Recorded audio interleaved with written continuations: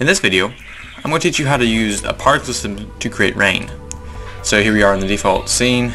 Um, yeah, let's go and get started. And I'm going to delete all of the objects by using A and X, and then just deleting those objects. Sometimes it helps to clear your scene before you get started. Press Shift A under Mesh, select a plane. This will be our particle emitter, so I'm going to move it up a little bit, scale it up significantly. Something like that, okay. And we'll go ahead and enable particle system for it hit plus sign and then under number I'm going to use 100,000 particles. So there we go.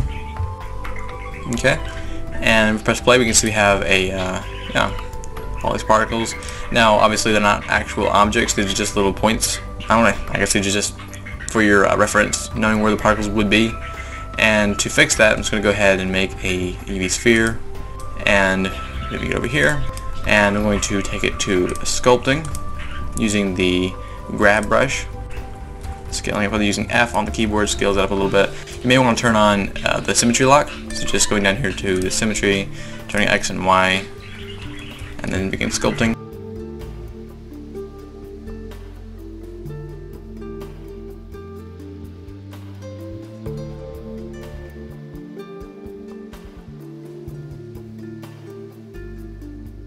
Then we're going to go to object mode.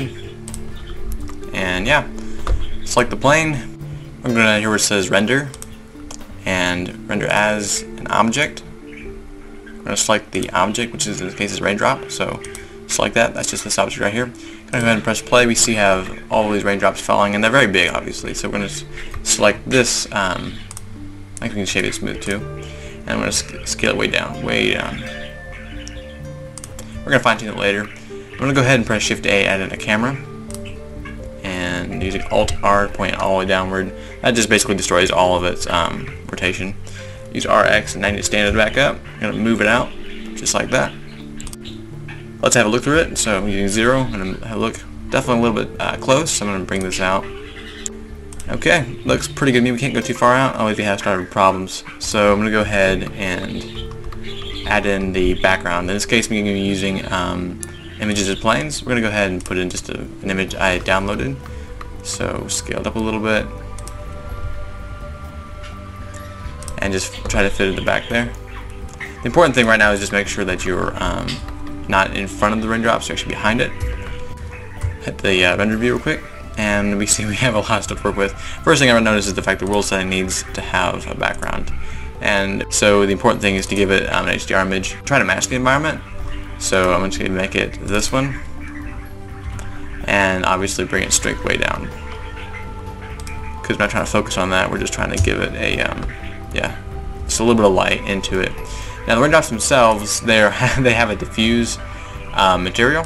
I'm sorry they have they have a principled shader or make that um, metallic 100% or just at a 1 it'll bring down the roughness all the way down to 0 and give them a slight uh, just a slightly dark material that way they're not, you know, so so white.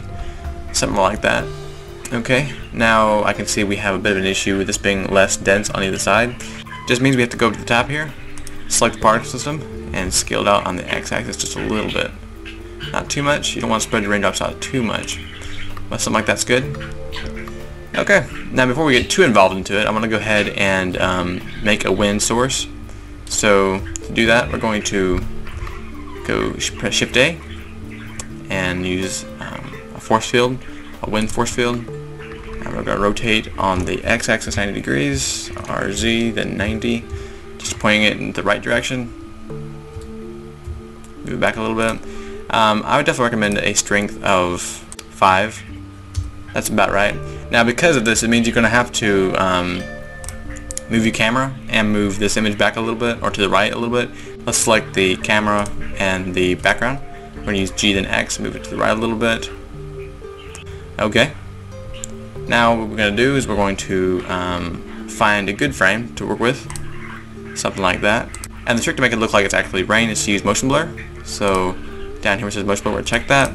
I recommend 0.4 is good on your motion blur.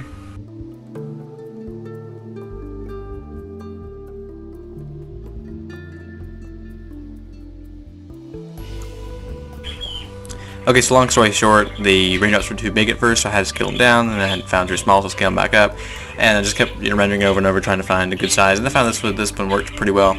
And so yeah, that's pretty much it. This is very applicable um, if you have like a 3D scene and you just want a little rain or some snow. This is the way I would do it. Um, I mean, it's not 100% realistic, but I mean, it's up to you. Um, all your little settings, you can change them and tweak them how you would like it. But yeah, this is just a simple way to make rain or, or, or snow in, um, in Blender using Particle System. Thanks for watching.